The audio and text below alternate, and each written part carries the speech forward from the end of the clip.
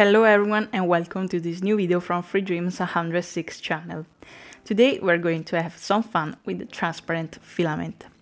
In this video we are going to take a look at the best settings for transparent prints, what to print with this material and how to get the best possible results. In addition to that, I will show you a very special transparent PLA. So let's cut the chase and get into it.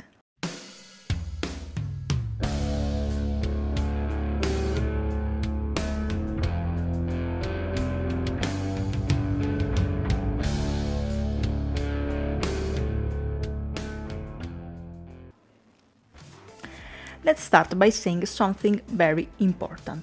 The transparency of a print is created with this type of material is 50% print settings and 50% the chosen filament.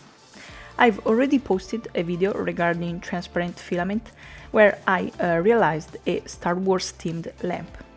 If you're interested, I will leave the link right there for you. Today, however, I'm using a different filament, Fiberlogy High Speed Clear PLA. I decided to bring you a video about it because in my opinion it is really one of the best transparent filaments that I've tried and uh, you will see yourself why. But let's talk about the settings. How can we get some transparent prints? There are a few key uh, parameters that will determine the quality of the final result. First of all, the number of walls and infill, the temperature and the print speed. By setting these values in the right way, we can get really transparent filaments, as we obviously desired when we use uh, this kind of material. So let's start uh, by talking about the first two settings that I've mentioned, walls and infill. The less material you use, the more light will be able to pass through the print so lower the number of walls and the percentage of infill as much as possible to achieve a transparent print. For this reason, a technique that is a perfect match for this type of material is vase mode. I've mentioned it several times on my YouTube channel, but I've not dedicated a video about it yet. So let me know down in the comments if you might be interested in it. For the prints I'm going to show you today, I use this lysing mode for several reasons. For those who are not familiar with it, this mode is a setting that can be enabled in the slicer that will process our model in a very specific way. It will create a spiral path for the nozzle, eliminating this concept of layer. In fact, the nozzle will keep on extruding and will not stop the extrusion to go to the next layer, but will follow the spiral path. Obviously, this add uh, advantages and disadvantages. In fact, with this mode, the model will be printed with one wall and 0% infill. So we will save a bunch of time, but uh, the resistance of the print will be less than a normal print. The vase mode is perfect for this type of filament because it allows you to uh, get as much transparency as possible. Take a look, for example, at this vase that I've created with Make My Vase on MakerWorld and uh, I've talked about it in a previous video if you are interested. So uh, you can see how well and transparent the walls are. As I said before, the material plays a key role in this process. And I admit that this Fiberlogy spool is, uh, has really amazed me. This is a new product uh, that has been released at the end of January, but uh, and it features the, uh, some properties that makes it a really special transparent filament. As anticipated, printing speed is crucial in this process uh, because the filament has uh, to have the necessary time to melt um, properly. In fact, usually transparent uh, filaments, either PLA or PETG, are uh, printed at a slower speed uh, compared to normal filaments. But this is not a problem with FiberLogy spool uh, because it is it was formulated to be printed at high speeds. And I would say it delivers because this plier holder that you see right there was printed at 600 millimeters a second. Um, there are some imperfections on the curves because I haven't calibrated uh, the profile for this speed, but as you can see the straight segments are perfect. If you are looking for a filament uh, to print what a transparent filament to print with a high speed machine, this is the perfect material for you. It will also allow you to use larger nozzles for that thick layer effect that someone uh, like or doesn't.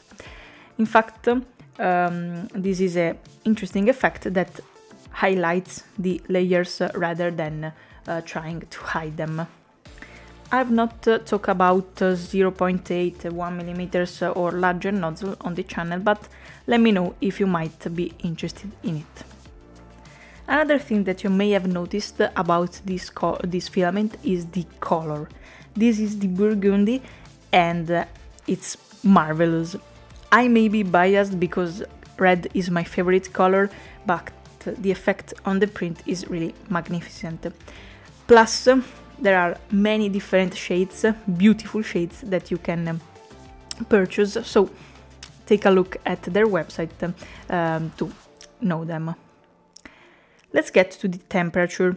As I've said earlier, the filament needs to melt evenly to be properly transparent. So increasing the temperature from what you uh, usually use for classic PLA will help you get better prints. I use the temperature I uh, usually set for high speed PLA. So if you have already a profile for that material, you can use the same value. You can print anything with this filament. Uh, it is well suited for lamps, obviously, uh, vases, furniture, art pieces. This material really creates a magnificent effect, especially if it's colored. For example, I've printed the vase I showed you earlier, and also bowls or trails will come out beautiful with this material. But you don't have to limit yourself to aesthetic pieces. In fact, I want to show you two super functional uh, models. I mentioned earlier the plier holder that is a super simple structure but with this filament and with this color um, this model really is gorgeous. The same goes for those two little boxes that I've printed at 500 millimeters a second. And uh, you can see that they came out perfectly. So I think that the limit with my setup is around uh, 50 feet, 550 millimeters a second. I've also printed the lids for these boxes. And I think that for organizers uh, transparent filaments are perfect because even if you store these boxes on a shelf you can see the content um, uh, right away. So if you want a um, to increase the transparency of a print, you can also uh, do some post-processing. For example, you can send the piece and use some kind of uh, spray paint uh, uh to increase the transparency and uh, make it look better. Furthermore, if you have a particular application that requires as much transparency as possible, you can also take a look at PVB which is a material that can be post-produced with isopropyl alcohol to achieve a super smooth and transparent surface. I've not uh, talked about it on my channel yet, but uh, we might see it in the future because it's a really interesting material, although it's not super famous. So, let me know down in the comments if you have already tried this kind of filament and in the meantime, if you like this video, you may also like these ones.